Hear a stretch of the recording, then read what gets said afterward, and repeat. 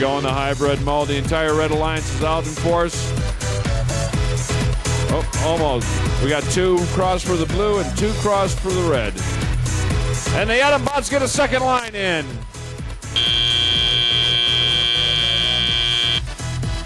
Good to go. Teleoperated. Let's drive.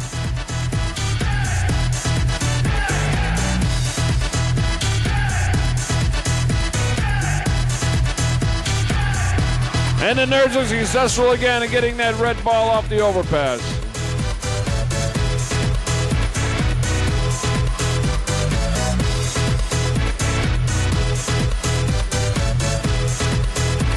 And they get the second one off as well. Coming around the back stretch.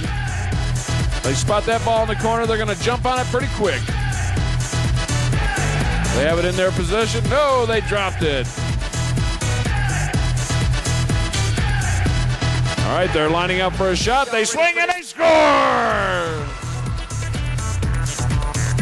They're quickly back into the corner. Nerds have got the ball again. They're coming around, coming around the backstretch, getting in a little bit of traffic underneath the blue overpass. They get that first blue ball off, so it's not there for the end of the game. They make their turn, they aim, they shoot, they score. All the balls are in play now.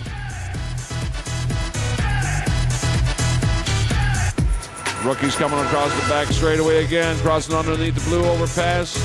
AdamBots got a blue ball into their possession. They're ready to score. They shoot, they score again. Them nerds are scoring at will.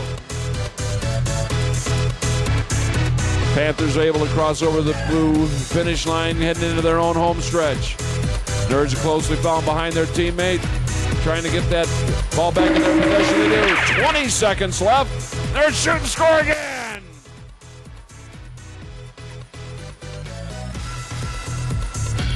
10 seconds left. 10 seconds.